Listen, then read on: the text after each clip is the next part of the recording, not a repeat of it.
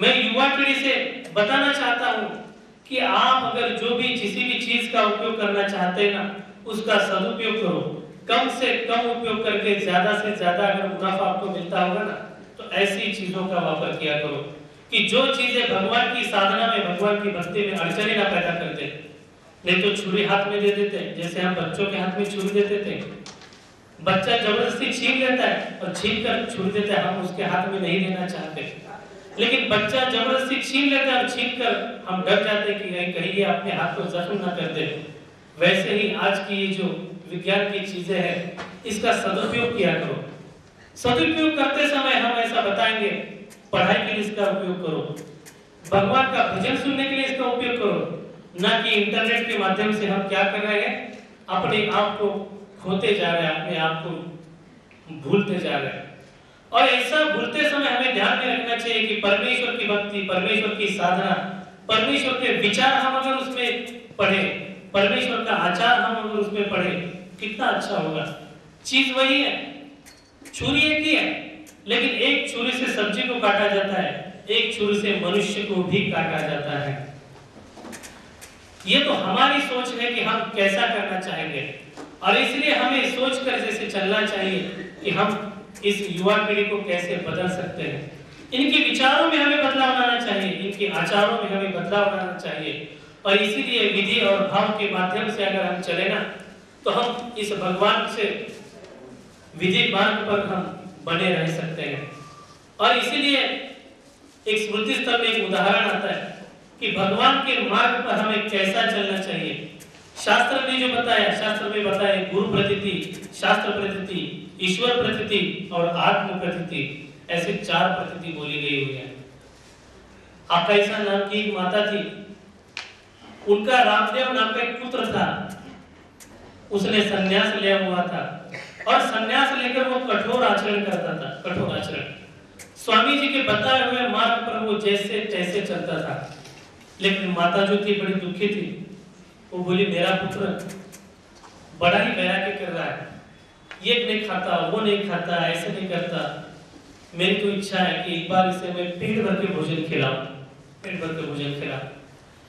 वो अपने पुत्र से बोलती है कि, मैं तुझे दंडवत डालती हूँ, मैं तुझे नियता देती हूँ तो एक बार पेट भर के भोजन खा ले। मैं अपने आँखों से तुझे पेट भर के भोजन खाने का देख देखना चाहती हूँ, अपने हाथों से तुझे भोजन खिलाना चाहती हूँ। लेकिन रामदेव जो थे, वो स्वामी के विधि मार्ग पर बताए हुए मार्ग पर चलते थे। उन्होंने मना कर दिया। वो बोले, नहीं, मैं तो अपने स्वामी जी के बताए हुए मार्ग पर चलूँगा, मैं तेरी नहीं सुनूँगा। क्योंकि तेरी तो मैं अनंत जन्मों से सुनते आ रहा हूँ, तू मेरी आज की माता नहीं है। तू तो मेरी जन्म जन्म की माता है, लेकिन मेरा परमेश्वर जो है, वो परमेश्वर से मेरा जन्म जन्म का रिश्ता है, अनंत जन्मों से मेरा परमेश्वर का रिश्ता है। परमेश्वर का मैं सुनता नहीं आया और अभी मैं सुनने की कोशिश कर रहा हूँ तो तू मुझे कोस रही है। उससे रहा नहीं गया। उसने जाकर आचार्य जी से बोल दिया कि भाई देखो, ये मेरा बेटा तो मेरा सुनता है नहीं। ऐसा कर दो। मैं आपको दंडवटे डालती हूँ भोजन के लिए। आप आते समय उसको भी साथ ले आना। आचार्य जी बताए हुए समय पर उनके घर भोजन के लिए आ गए। उसने बहुत पदार्थ तैयार किए हुए थे। पूरा भोजन की थाली परोस रखी थी। दोनों के लिए भोजन की थालियाँ परोस। दी आचार्य जी बैठ गए, उनका पुत्र रामदेव जी आ गए उन्होंने भिक्षा मांगकर वो वहाँ पर भोजन के लिए आ गए। माता ने पूजन किया आचार्य जी का, और उनका पूजन करने लगे, उन्होंने पूजन का स्वीकार नहीं किया। फिर आचार्य जी ने उनका हाथ थाम लिया। बोले, रामदेव, अपनी माँ का भोजन है, स्वीकार कर लो। क्या हर्ज है माता का भोजन स्वीकार करने में? उन्होंने कहा, आचार्य जी देखिए, आपको तो पता है, मैं अपने विधि मार्ग पर चलता हूँ, स्वामी जी ने जो मार्ग बताया उस पर चलता हूँ। आप मुझे ना रोको तो अच्छा है। और इसलिए उन्होंने आचार्य को बता दिया, मैं आपकी बात नहीं टालूँगा, लेकिन आपकी बात मानूँगा भी नहीं। फिर आचार्य जी ने उनका हाथ पकड़कर ज़बरदस्ती से थाली में से भोजन का एक गिलास निकालकर उनके मुख में डालना चाहा। लेकिन उन्होंने क्या किया? आचार्य जी का हाथ पकड़ के उससे थोड़ा सा घास निकालकर अपने मुख में डाल दिया। बोले, आचार्य जी, अब बस यही क्यों गया। मैंने आपका भोजन का ग्लास में से का प्रसाद मैंने स्वीकार कर लिया। ये सुख का आनंद मैंने लिया। गुरु की आज्ञा मैंने पालन की है। उनके हाथों का प्रसाद मैंने ले लिया। अब मुझे ज़्यादा भोजन की ज़रूरत नहीं है। मैं अपनी भिक्षा खा लूँगा। तो फिर आचार्य जी ने बताया, ये तो बड़ा हट कर रहा है। तू तो मेरी आज्ञा के आगे चला जा रहा है। तू मेरे नहीं सुनाएगा क्या? तू मेरे सुनेगा नहीं क्या? फिर उन्होंने कहा, देखिए आचार्य जी, अब आप मुझे बताएँ, मैं आपकी सुनूं या ईश्वर की सुनूं? किसकी सुनूं मैं? तब आचार्य जी ने कहा, बड़ी शांति के साथ कहा, देख बेटा, तू भगवान की सुन। क्योंकि अगर तू भगवान की सुनेगा ना तो तेरी वजह से मेरा भी उद्धार हो जाएगा, तेरी वजह से मेरा भी उद्धार होगा। अगर तू मेरी सुन, मैंने तो तेरी माँ की स्नेहवश आकर तुझसे कहा, तुझसे ज़बरदस्ती की, लेकिन ये मेरा अपराध है। तू जो चल रहा है, तू जो कर रहा है, वो अच्छा कर रहा है। तू भगवान की आज्ञा का पालन कर, भगवान की आज्ञा से तू चल। तुझे भगवान की आज्ञा से पालन करते हुए आज से मैं कभी तुझे भगवान के मार्ग पर, भगवान के राह पर चलने का तुझे कोसूँगा नहीं। और इसलिए उस दिन से उन्होंने सोच लिया कि देखो भाई, मैंने अपने गुरु के साथ भी ऐसा व्यवहार करके उनका दिल जीत लिया। आचार्य को बड़ा परम संतोष हुआ। ये सुख का आनंद है। अपने गुरु के साथ, अपने मार्ग के साथ इस प्रकार अगर हम प्रसन्नता का वातावरण तैयार करते, ये प्रसन्नता का एक जो मनोधर्म है बड़ा ही काम करता है। जिसमें हमारे कर्म राठी में संसार में जिसको सिफारिश बोली जाती है ना, सिफारिश।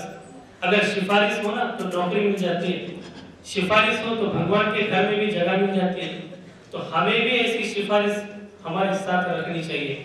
और ये सब साधु संतों की सिफारिश, अधिकरणों की सिफारिश अगर हमारे साथ में रहे तो हमारा जीवन भी इस तरह से फला फूला रहेगा। और इसलिए इनकी सिफारिश हम कैसे कर सकते हैं? ये सिफारिश पत्र के लिए हमें क्या करना चाहिए? हमें साधन की प्रसन्नता जोड़नी चाहिए। ईश्वर नाही तेने मार्ग जोड़ावा, वसोचिनी न्याय बंधन तोड़ावे।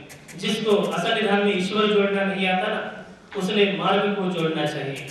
साधन को जोड़ना चाहिए। स्थान, प्रसाद, भिक्षु वासनिक इस चतुर्विध साधन के साथ अगर हम चलेंगे ना तो यकायक ईश्वर की प्रसन्नता हमारे साथ होगी।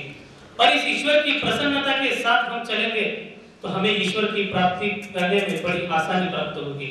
सब मुश्किलें दूर हो जाएँगी, सब अड़चने दूर हो जाएँगी, और इन सब अड़चनों के बावजूद भी हम परमेश्वर को प्राप्त कर सकते हैं।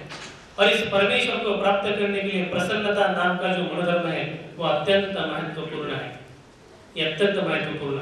आज मैंने आपको दो बातें बताई हैं। एक है प्रसन्नता, दूसरी है अप्राप्ति। ये बिना खर्चे का काम है।